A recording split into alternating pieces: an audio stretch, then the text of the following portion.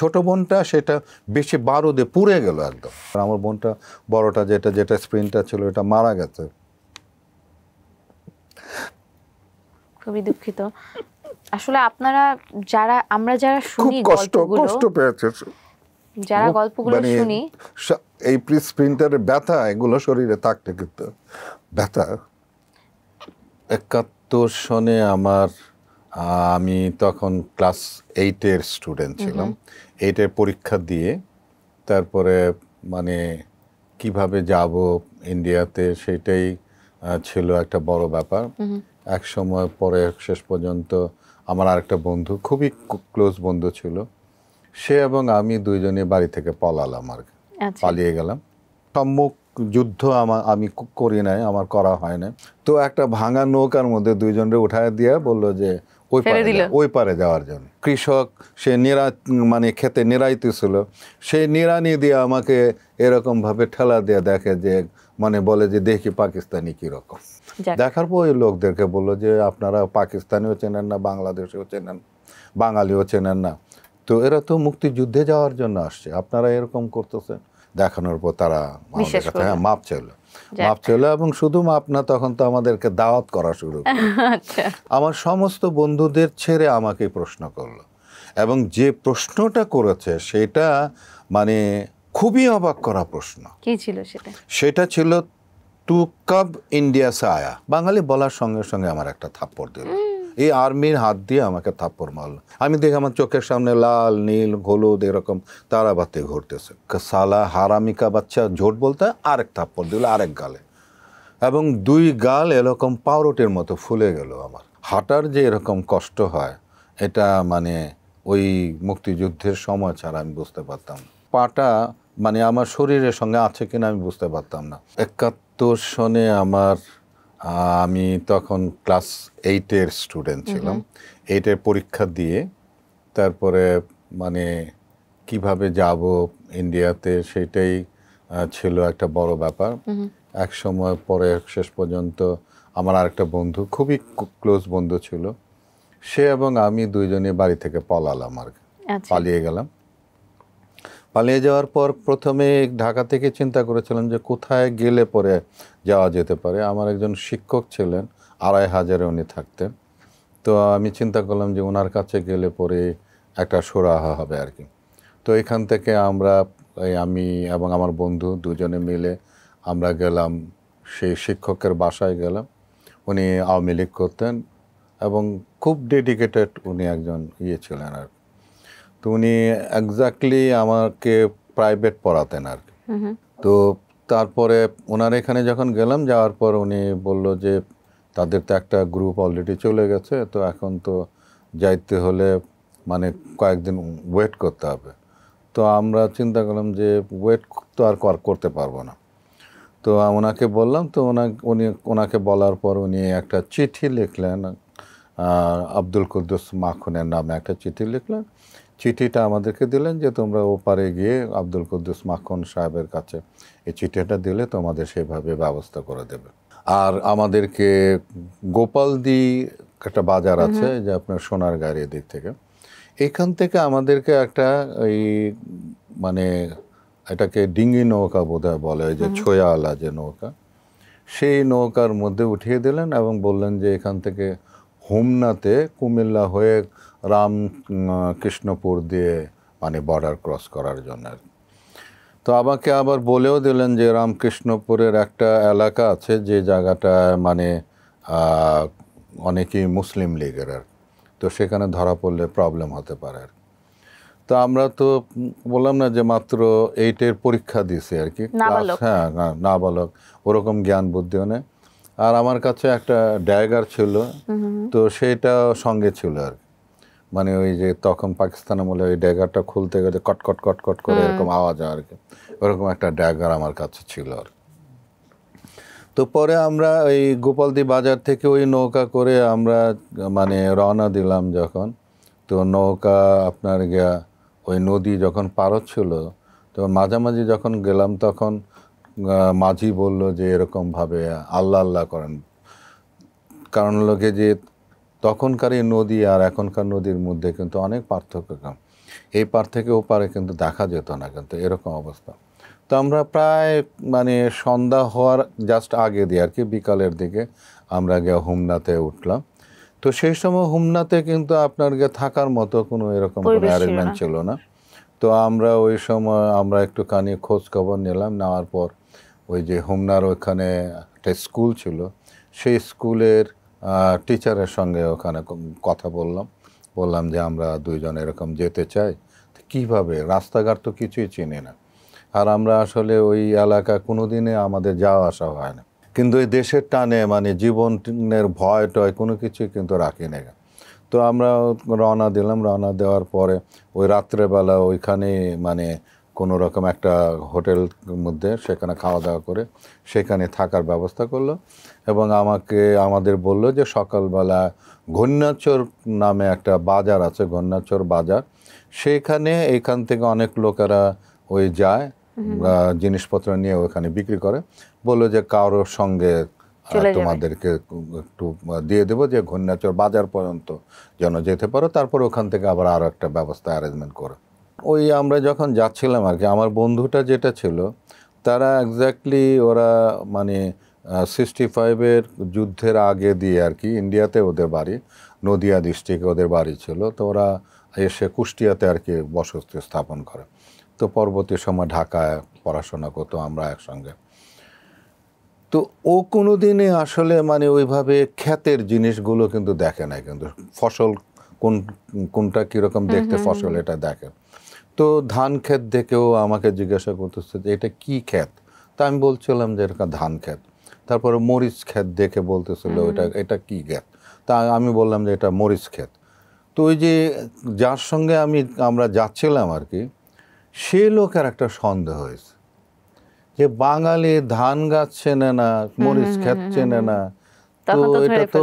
বাঙালিরা এরা কিনা নাকি এরা স্পাই টিস্পাই কিনা এরকম একটা তার একটা সন্দেহ এই সন্দেহ হওয়ার পর তারপরে গিয়ে ওই গণ্যাচর বাজারে যে চিন্তাটা সেটা ওখানে প্রকাশ করছে। প্রকাশ করার পর ওইখানে এখন মানে বাজারের তো আমাদেরকে ঘেরাও করছে। ঘেরাও করার পর তো এখন এদিকে একজন আমাদের দুইজনকে আলাদা আলাদা করে জিজ্ঞাসা করছে। তা আমাদেরও মাথার মধ্যে ওই যে খেলতেছে যে বলছিল যে ওই রামকৃষ্ণপুরের এখানে কিছু লোক আছে যারা মানে মুসলিম লীগের লোক তারা ধরায় দেয়।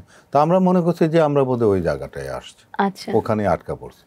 এবং আমরাও সেখানে ভুল করলাম। আমরা ওই ভুলটা করে আমরাও বলতেছিলাম যে না আমরা মানে ইয়ে পাকিস্তানের এই সেই বাস মানে ওদের মানে ইয়েতে। একদম মিড তো এই অবস্থার মধ্যে ওই ঘূর্ণাচর বাজারের এখানে একটা আবার একটা খালের মতো একটা নদী আছে। তো তখন আমরা আমি যখন বুঝতে পারলাম যে না আমরা রং করে ফেলেছি এবং ওরাও একটা রং করছে তখন আমরা বললাম যে না আমরা অ্যাকচুয়ালি মুক্তিযুদ্ধে যেতে চাই কিন্তু ওরা আর বিশ্বাস করছে না। তো ওরা মানে আমার বন্ধুটা একটু গোদগাদাও ছিল আর কি, ফর্সা ছিল আর কি। তো বল বলতেছে যে পাকিস্তানি হলে ওই যে নদীতে মানে পড়ে গেলে মানে সাঁতার জানবে না। তো একটা ভাঙা নৌকার মধ্যে দুইজনরে উঠায় দিয়ে বলল যে ওই পারে ওই পারে যাওয়ার জন্য। আচ্ছা। তো আমি ওরে বলতেছি যে এরকম তুই পানির সেচ আর আমি কোনো রকমের মানে বইটা লগিয়ে দিয়া অন্তত ওই পারে যাই। তো ওই পারে গেলাম ঠিকই। কিন্তু পুরো গ্রাম রটে গেছে যে এরকম পাকিস্তানি ধরা পড়ছে। কারণ আপনারা তো দেখতে হ্যাঁ, ভীষণ সুন্দর। মানে পাকিস্তানি হ্যাঁ পুরো তো গ্রাম রটে ফর্সা। গেছে। তো হ্যাঁ। গ্রাম রটে গেছে সেই লোকেরা আসতেছে পাকিস্তানিদের দেখতে আসতেছে। হ্যাঁ দেখতে আসতেছে। এক কৃষক সে নিরা মানে খেতে নিরাইতেছিল। সেই নিরানি দিয়ে আমাকে এরকম ভাবে ঠেলা দিয়ে দেখে যে মানে বলে যে দেখি পাকিস্তানি কীরকম। তো এই অবস্থার মধ্যে শেষ পর্যন্ত মানে ওই চিঠিটা তখন আমরা বের করি না আর কি। তো তারপরে আমরা বল মানে বোঝাতে চেষ্টা করছি কোনোভাবেই তারা বুঝতেছে না। এবং লাঠি লুটি নিয়ে তারপরে দেখি যে লাঠি নিয়ে আসতেছে আমাদের মেরে ফেলার জন্য। তো এই সময় মানে সৃষ্টিকর্তাকে অনেক অনেক ধন্যবাদ ইনিই রক্ষা করেছেন আমাদের। ওই সময় ওখানকার ওই এলাকার এমপি যিনি ছিলেন আমি এখন নামটা মনে করতে পারছি না। ওনার লোক পাঠালেন। উনি যখন শুনলেন তখন লোক পাঠালেন পাঠানোর পর তখন ওই এমপি সাহেবের লোকের কাছে আমি চিঠিটা দেখালাম যে দেখেন আমাদের এই যে আব্দুল কদ্দুস মাখনের কাছে আমাদের যাওয়ার জন্য যে আমাদের চিঠি দেওয়া হয়েছে। এই চিঠিটা তখন দেখল। দেখার পর ওই লোকদেরকে বলল যে আপনারা পাকিস্তানিও চেনেন না বাংলাদেশেও চেনেন বাঙালিও চেনেন না। তো এরা তো মুক্তিযুদ্ধে যাওয়ার জন্য আসছে। আপনারা এরকম করতেছেন? তো সময়টাই তো হ্যাঁ, আসলে ওরকম হ্যাঁ। ছিল। তখন ওই লোকেরাও তারা বলতেছে ও এর মধ্যে কথা কয়া ঘুষ খায় টাকা পয়সা খায় এদেরকে ছাড়ানোর ব্যবস্থা করতে তখন উনি বলল যে দেখেন আমি এমপি সাহেবের লোক তা আমি এদেরকে এমপি সাহেবের বাসায় নিয়ে যাচ্ছি সেখানে যাওয়ার পর আপনারা আসেন ওখানে দেখেন বিচার করেন যদি সত্যি সত্যি যদি এরা পাকিস্তানি হয়ে থাকে আপনাদের হাতে তুলে দেবেন আপনারা যা করছে তাই করুন। আর যদি এরা মুক্তিযুদ্ধ হয়ে থাকে তাহলে আপনারা যেটা করছেন এটার জন্য আপনাদেরকে ক্ষমা হবে তাদের কাছে। তো তারপরে বিকালবেলা তারা আসলো। আসার পর তারপরে ওই চিঠি ওনাদের সব লোকদেরকে দেখাল। দেখানোর পর তারা আমাদের কাছে হ্যাঁ মাপ চাইলো। মাপ চাইলো এবং শুধু মাপ না তখন তো আমাদেরকে দাওয়াত করা শুরু। আচ্ছা। তো এখন দাওয়াত করা শুরু করল আমরা ওখানে দুই দিন ছিলাম। তো এমপি সাহেবের ওই লোক আমাদের বলল যে ভাই আমাদেরও কিন্তু গ্রুপ চলে গেছে একটা। এখন নেক্সট গ্রুপ যেতে গেলে আরও এক মাস আমাদের সময় লাগবে। কিন্তু আপনাদের এটা যেভাবে প্রচার হয়েছে এই জায়গার মধ্যে আপনারা এখানে থাকলে আপনাদের বিপদ হয়ে যাবে। আর রামকৃষ্ণপুরের কথা বললাম বলল যে হ্যাঁ উন- উনি ঠিকই ইনফরমেশন দিচ্ছে। রামকৃষ্ণপুর না রামচন্দ্রপুর বোধহয় এরকম বোধহয় জায়গাটার কথা আর কি। বলল যে উনি ঠিকই বলছে তো আমরা বললাম যে তাহলে কি করা যায়? বলল যে আপনারা বাড়িতে ফিরে যান তারপরে দে আপনারা আসেন। তো আসেন এই পরে মানে এত হ্যাঁ, পথ পাড়ি হ্যাঁ, দিয়ে গেলেন আবার এত হ্যাঁ, পথ পাড়ি দিয়ে ফেরত আস ওনারা এসে আবার মানে ওই লোক মানে দুইজন এসে আমাদেরকে ওই হোমনাতে এসে লঞ্চে উঠায় দিল নারায়ণগঞ্জে। নারায়ণগঞ্জের যে কি পরিস্থিতি সেটা তো আমাদের জানা ছিল না আসলে। তো নারায়ণগঞ্জে যখন আসি তখন আমাদের ড্রেস ছিল সেটা কিন্তু খুব সন্দেহজনক ড্রেস ছিল। লুঙ্গি পরা কিন্তু কেটস পরা।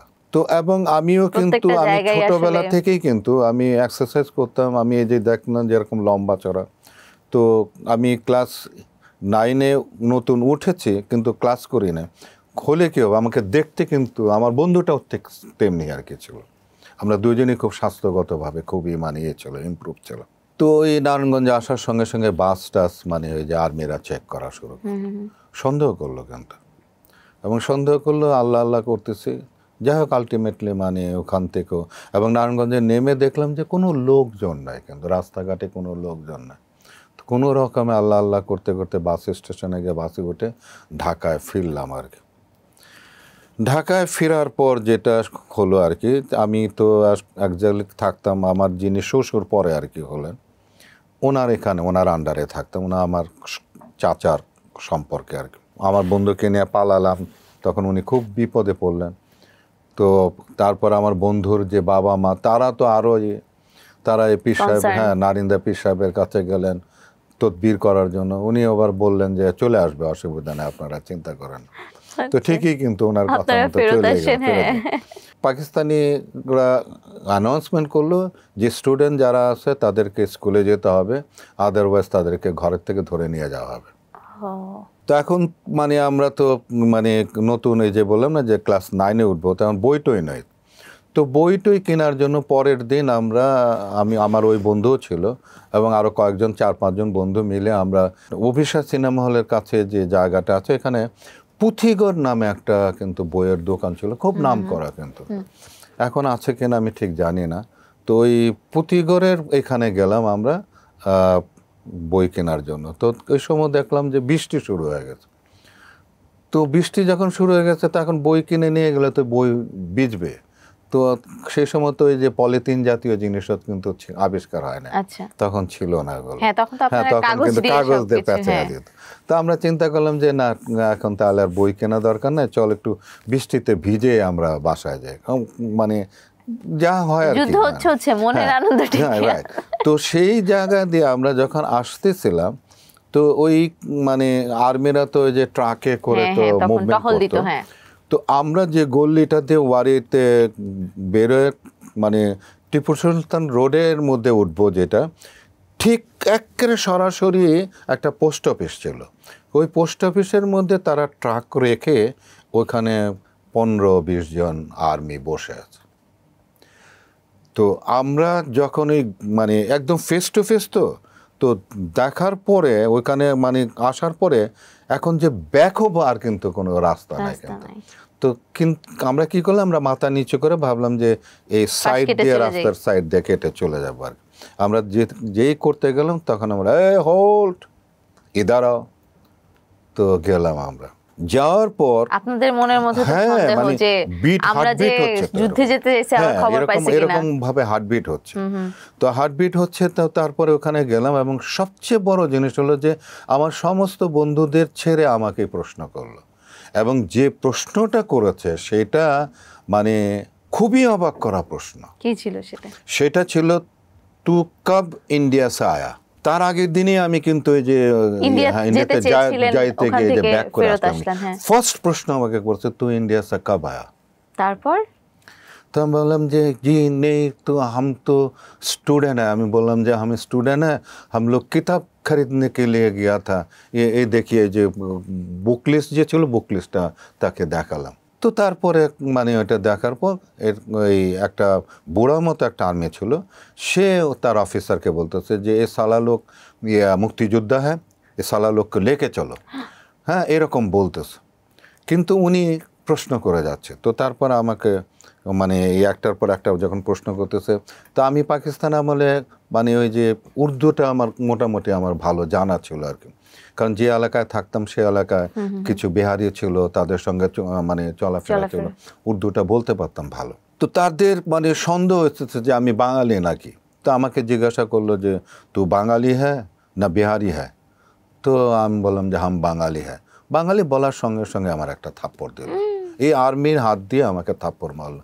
এবং আমার মানে ওই যে একটা ওই যে তারাবাতি দেখে না বলে যে আমি তারাবাতি কি জিনিস আমি আগে জানতাম না কেন আমি দেখি আমার চোখের সামনে লাল নীল হলুদ এরকম তারাবাতি ঘুরতেছে এবং ছিন এরকম একটা আওয়াজ আওয়াজ। আওয়াজ মাথার মধ্যে করতো তো তারপরে আমাকে আরও প্রশ্ন করা শুরু করলো যে এরকমভাবে তো ভোট কিসকো দিয়া तो हम बोलम जे हम तो स्टूडेंट है स्टूडेंट का तो कोई वोट नहीं है तो तेरा बाप किसको वोट दिया तो हम बोलम जे मेरा बाप तो देहात में रहता है देशे थाके हाँ तो हम नहीं जानते बाप मेरा बाप किसको वोट दिया तो बोले इधर तू किसका पास रहता है तो हम बोलम जे मेरा अंकल के पास तेरा अंकल किसको वोट दिया तो हम बोलम जे अंकल किसको वोट दिया मुझे तो मालूम नहीं है कि साला हारामी का बच्चा झूठ बोलता है आरेक थाप्पड़ दिल आरेक गाले এবং দুই গাল এরকম পাউরুটির মতো ফুলে গেল আমার ওই সময় মানে ওই অফিসার আমাকে বাদ দিয়ে দুই থাপ্পড় দেওয়ার পর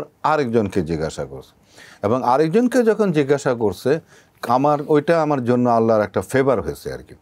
ওই বন্ধুটি ওই সিক্সটি ফাইভের ওয়ারের পরে দেওয়ারা কলকাতা থেকে বাংলাদেশে চলে আসছে আর কি। তাদের ওদেরকে আবার বলা হতো মহাজের বলা হতো। আচ্ছা। পাকিস্তানিরা ওদেরকে কিন্তু আর্মিরা কিন্তু খুব মানে ওদের কথা দাম দিত কিন্তু। তো ওরে জিজ্ঞাসা করছে তো কোন হয়? তো বলো যে হাম তো মহাজের হ্যাঁ है तू महाजर है तो ये लोग का साथ क्यों घूमता है बोलो जे हम लोग एक साथ में पढ़ते हैं ये मेरा यार है तो इसीलिए ऐसा এই এই যে বললো যে আ- আমি মহাজের এবং এরা আমার বন্ধু এ- এর মধ্যে একসাথে সঙ্গে পড়ি। আমি এবং ও বললো যে আমরা বই বই কিনতে কিনতে গেছিলাম গেছি। তখন কালকে- ওর কথা হ্যাঁ, বিশ্বাস right. করলো। তখন কথাটা বিশ্বাস কর বিশ্বাস করার পরে তারপরে আমাদের বললো যে যাও তো আমরা যাইতেছি আর আমাদের পিছনে আমার কাছে মনে হলো যে আমরা যাও বলল আর ঠিক পিছন থেকে এলএমজি দিয়ে বাস ব্রাশ ফায়ার করবে আর কি। পিঠটা না এরকম এরকমভাবে নড়তেছে আর কি।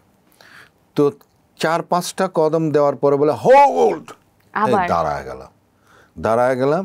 তো ঘুরাও কিন্তু দেখ হোল্ড মানে কি ওইভাবে মানে ঘুরা যে তাদেরকে দেখব সেটা আর মানে দেখারই না। তো ওইখান থেকে বলতো দৌড়াও! তো ভাবলাম যে দৌড় দিলেই তো ওরা গুলি করে। তো দৌড় দিলাম কি করব আর? দৌড় দিলাম দেখে যে আল্লাহ রহমতে মানে গুলি গুলিটা করে না। তো কাছে একটু মানে বোধ হয় দুইশো মিটার পরে ওই যে ওই বন্ধুটার বাড়ি ছিল। তো ওইখানে গেলাম বারান্দা দাঁড়ায় তখন ও বলতেছে যে ইলিয়াস তুই বাসায় যাবি কেমনে? তোর তো গাল যে অবস্থা পাঁচটা আঙ্গুল দুই গালের মধ্যেই বসে মানে বসে গেছে এবং ফুলে গেছে পথ আর এদিক দিয়ে আমার বাবা খবর পাচ্ছে যে আমার বাবা মানে আমার চাচা আর কি খবর পাচ্ছে যে আমার বাবা দেশে আমার কথা জিজ্ঞাসা করে আর ফেন্ট হয়। জিজ্ঞাসা করে আর ফেন্ট হয় যে আমার পোলা কই আমার পোলা কই এরকম একটা অবস্থা। তো আমার চাচা তখন বলল যে তোমাকে আমি আর কোনোভাবে রাখব না। কারণ এই এটা অবস্থা দেখছ। মানে একটা কিছু হয়ে গেলে আমি জবাব দিতে পারব না। তোমাকে তুমি দেশে চলে যাও। তখন দেশে কীভাবে যাব? দেশে যাওয়ার জন্য আমার দূর সম্পর্কে আমার এক আঙ্কেল হয়, তার সঙ্গে আমাকে পাঠালো এবং আমার এই যে যিনি শ্বশুর, উনি আমাকে বলল যে এরকমভাবে আর্মিদের মধ্যে এক ধরনের ক্যাপ আছে, লাল ক্যাপ আলা আছে, এরা কিন্তু মানে ধরে নিয়ে গে, মেরে ফেলে। আর অন্য ক্যাপ আছে যে তারা অন্তত কিছুটা। তো এই ট্রেনের মধ্যে বসছি, বসার সঙ্গে সঙ্গেই আসলো ওই লাল ক্যাপওয়ালা। যেখানে হ্যাঁ যেখানে বাঘের ভয় এবং পুরো কম্পার্টমেন্টের মধ্যে কাউকে কোনো কিছু না জিজ্ঞাসা করে আমার কাছে আসছে। আইসা বলল তেরা পটলা পাটলা কাহা তো আমি দেখা দিলাম যে আমার লগে একটা ইয়ে ছিল ব্যাগ ছিল। তো আর আমি আল্লাহ আল্লাহ করতেছি আল্লাহ যদি ট্রেনটা ছেড়ে দিতে যদি ট্রেন ঠিক ওই সময় হুইসেল দিচ্ছে ট্রেন এবং আস্তে আস্তে চলা শুরু করছে। তো তখন ওই অফিসার কি করল একটা ওই যে বিহারি উম, একটা সোলজার আছে না তারে বললো যে এই ইসকো नजर আচ্ছা আছে হ্যাঁ চেক করো আর নজর রাখো ইসকা উপর কয়া উনি নাইমাই গেল গার তো আমরা যখন মানে নরসিংদীর কাছে আমরা যখন গেলাম ট্রেনটা যখন গেল তখন ওখান থেকে খবর হলো যে ভৈরবের ব্রিজ উড়িয়ে দেওয়া হয়েছে ট্রেন আর যাবে না তো যাবে না তো এইটা যখন খবর পাইলাম ট্রেন ওখানে থেমে রয়েছে আর ওই যে ওই লোক খালি বারবার দেখে আমি গিয়ে। তো ওর এক মানে কোনো একটা দেখা তারপরে আমার আঙ্কেল আমাকে নিয়ে ওখান থেকে ট্রেন থেকে নেমে গেল। নেমে যাওয়ার পরে আমার জীবনে যে আমি কষ্ট যেটা করেছি আমি হাঁটার যে এরকম কষ্ট হয় এটা মানে ওই মুক্তিযুদ্ধের সময় ছাড়া আমি বুঝতে পারতাম এই নরসিংদী থেকে আমরা মানে তখনকার দিনে তো রাস্তাঘাট জানেন ভালো না। ওই রিক্সা কিন্তু যেটা চলতো সেটা কিন্তু রিক্সা টেনে টেনে নিয়ে যেত। কারণ ওই এবং ওই সিজনটা ছিল ওই যে কাদা টাদা হয়ে যেত বৃষ্টির সময় ছিল। তো ওই রকম ভাবে গেলাম এক বাড়িতে ওইটা আওয়ামী লীগের একটা ইয়ে ছিল। তো সেই জায়গায় যা দেখলাম যে আরও অনেক লোকজন আছে। রাত্রে ওখানে তারা খা- খাইতে দিল। খাইতে দেওয়ার পর পরের দিন আর কি সকালবেলা মানে ওখান থেকে রওনা দেব রওনা দেব। যে দিক দিয়ে আমাদের যেতে হবে ঠিক ওইখানে আবার আর্মিরা অ্যাটাক করেছে। তো আর্মিরা অ্যাটাক করেছে এটা শুনলাম শোনার পর এখন তো আমার ওই আমার যার সঙ্গে ছিলাম আমার চাচা দূর সম্পর্কে যিনি চাচা তো এখন তিনি তো বললেন বিপদে যে আমাকে কীভাবে কোন দিক দিয়ে? তখন উনি বুদ্ধি করলেন যে অনেক ঘুরে অন্য আরেক রাস্তা দিয়ে তাহলে যেতে হবে। তো আমার ওই বয়সে আমি ওই হাঁটতে হাঁটতে ওখান থেকে আপনার গিয়া হাঁটতে হাঁটতে আমি যখন দেশে যে যাচ্ছিলাম আর কি তো একটা পর্যায়ে আমার পা মানে ফুলে এমন একটা অবস্থা হলো হ্যাঁ এমন অবস্থা হলো যে পাটা মানে আমার শরীরের সঙ্গে আছে কিনা আমি বুঝতে পারতাম না। এবং মানে হাত দিয়ে এরকমভাবে অনেক সময় টেনে এরকম টেনে। ভাবে টেনে নিয়ে এরকম যখন ফেলতাম তখন ঝিঝি লাগতো পায়ের মধ্যে। তো এরকম অবস্থার মধ্যে মানে এত কষ্ট করে তারপরে মানে বাবার কাছে হ্যাঁ, পৌঁছালাম। দেশে গেলাম। দেশে যাওয়ার পরে আর সেখানে বাবা মানে তার জান পাইলো আর কি সুস্থ হইল আর কি আমাকে দেখে আর কি।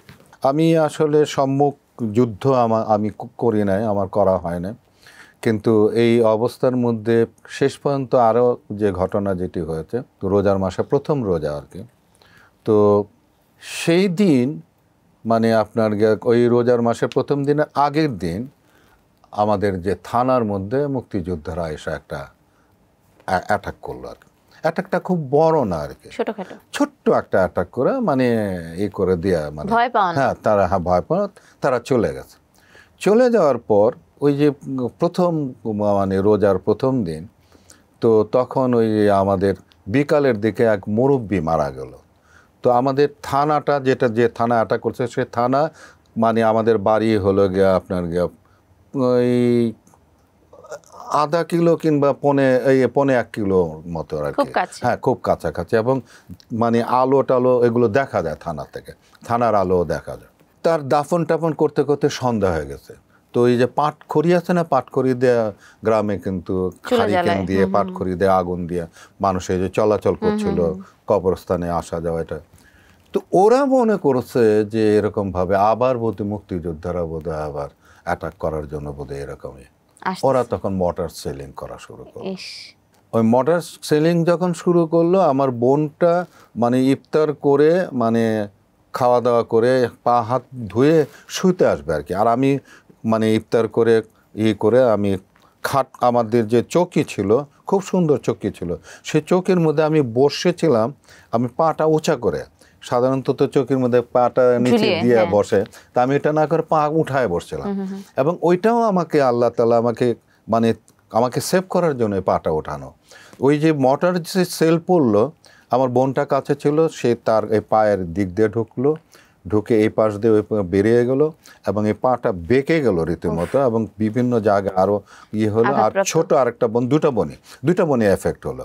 আর গিয়ে ছোট বোনটা সেটা বেশি বারুদে পুড়ে গেল একদম।